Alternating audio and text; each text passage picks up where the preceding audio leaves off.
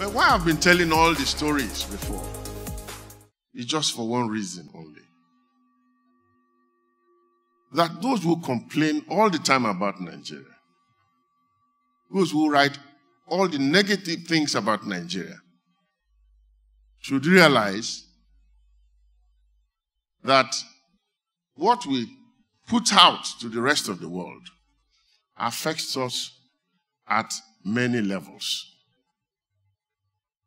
Our people are now participants in this industry. But one thing is lacking. Technically, our people have become very competent. They can run this industry. But this industry is a combination of two things technical competence and access to capital. We cannot now access capital, although we have the technical competence. And what makes it difficult to access capital? One of the things that make it difficult to access capital when it comes to Nigeria is the thing are the things that we put out there about Nigeria.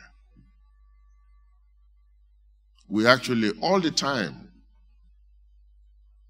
we add to the country risk the perception about Nigeria. Because we enjoy saying all the evil things about Nigeria and really never dwell on those things that are great about Nigeria. Look at us today. Since the 1960s, we've made a lot of progress. And if you say, where is the progress? If you ask me, I will tell you, for example, that where you sit today is part of our success story. Abuja is part of our success story. A brand new city created from scratch. Somehow, we've done a few things well, and we must agree. So when we go out there, before the next great edition of NIPS, we should realize that we must all begin to contribute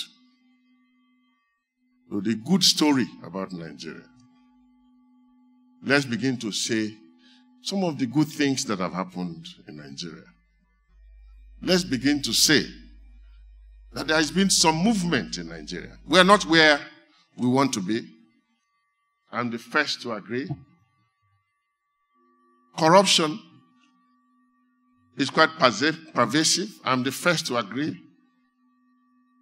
There is poverty. I'm the first to agree. But